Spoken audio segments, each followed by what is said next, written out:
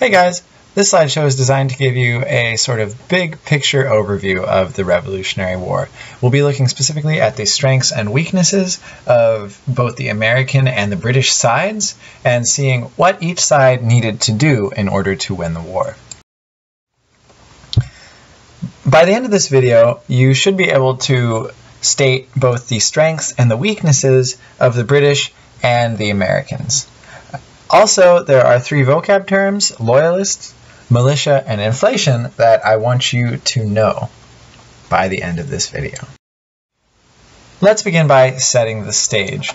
So as you know, the war began in 1775 with the Battle of Lexington and Concord.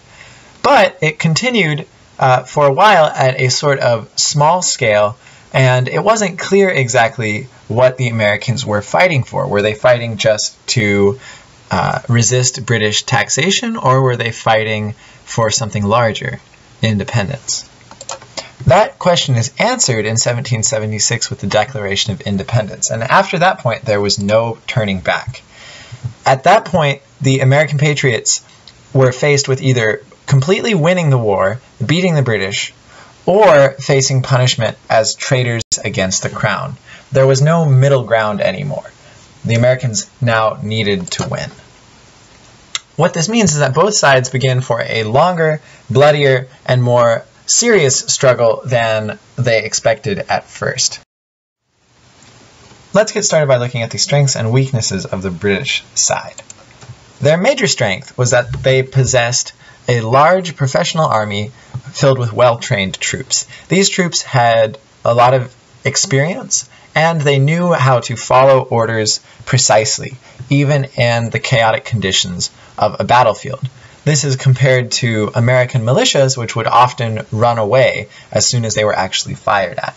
So this allowed the British to win a lot of battles where other less well-trained armies would have lost.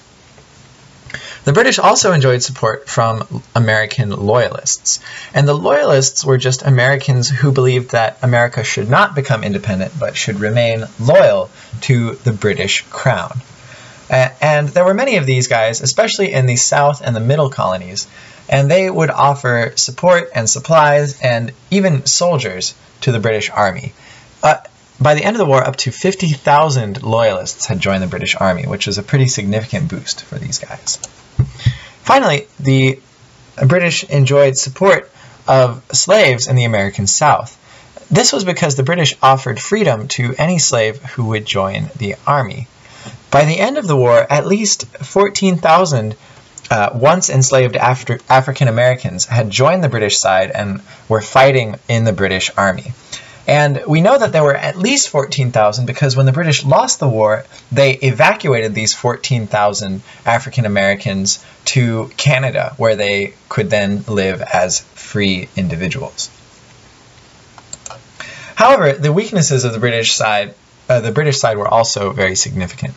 First of all, the British were fighting across an ocean. 3,000 miles separated England from America, and this led to long delays in supply and communication. The British could get an order that was three months old that would no longer make any sense, and sometimes they would be very dangerously low on basic supplies like gunpowder and food. They were also fighting in unfriendly territory. What this meant is they didn't know the terrain as well as the colonists, and they were also at constant danger of sneak attacks. Even though the British possessed well-trained troops, they could not be on guard all the time against uh, angry colonists who would attack them in night at, in the night or steal their food or stuff like that. Also, Britain, during its rise to power over the last two centuries, had created enemies in Europe. They were hated both by the French and the Spanish, and this meant that they had to be careful during the war with America because the French or the Spanish might attack them at any moment. This meant that they couldn't use all of their military strength just on America.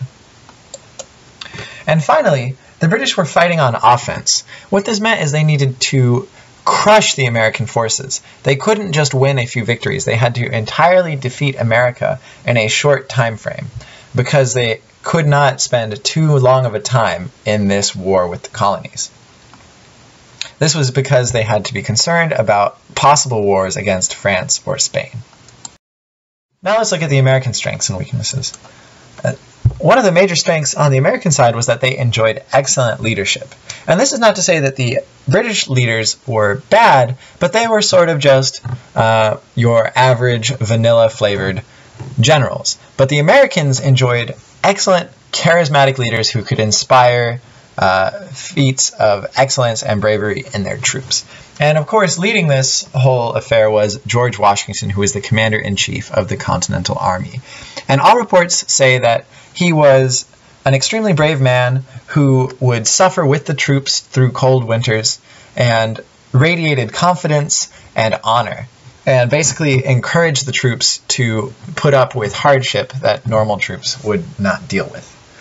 Uh, beside Washington, there was a Frenchman named Marquis de Lafayette who became one of the leading American generals and inspired confidence in the Americans because he came from France and represented a promise that more French support might come later on.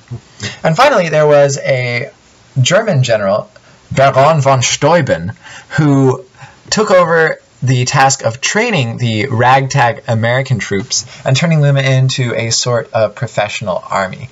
And he proved to be quite effective in this, and he whipped the professional American soldiers into shape so that by the end of the war they were beginning to win battles against the British Redcoats. Secondly, the Americans were fighting on defense. What this meant is that they did not have to crush the British army. All they had to do was avoid the British and drag the conflict out long enough that the British would quit. Uh, basically, they just had to survive, whereas the British had to kill the Americans. Third, there was widespread support. Even though there were many loyalists in the colonies, most Americans supported the revolutionary cause. And that meant that they were willing to help the soldiers out.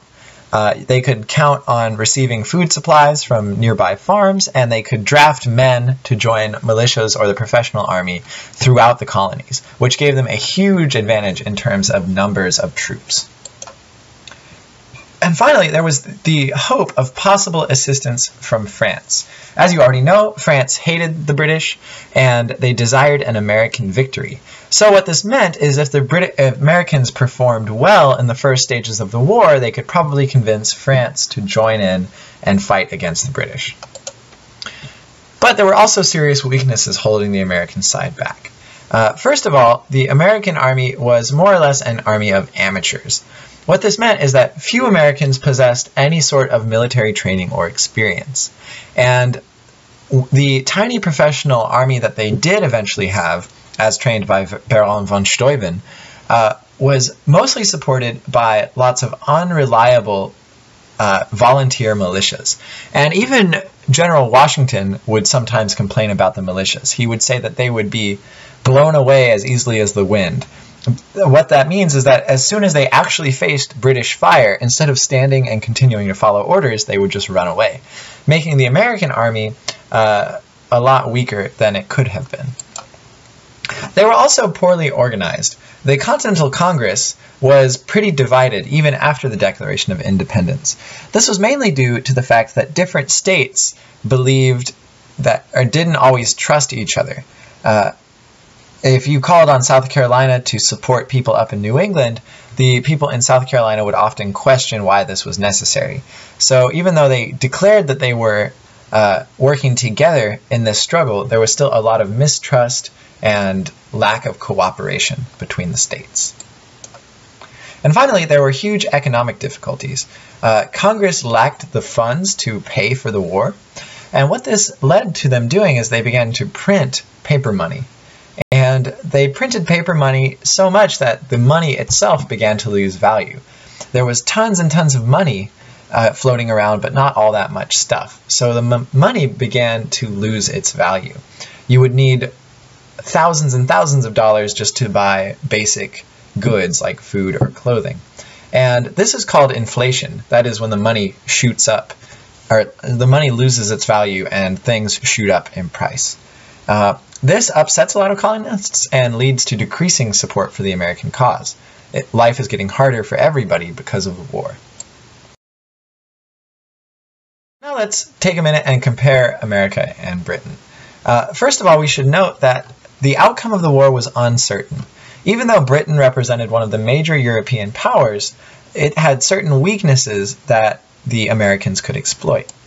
And so because of the strengths and weaknesses, victory was possible for either side. Uh, Britain was in the un the difficult situation of needing to crush the Americans before other countries would agree to help the Americans out.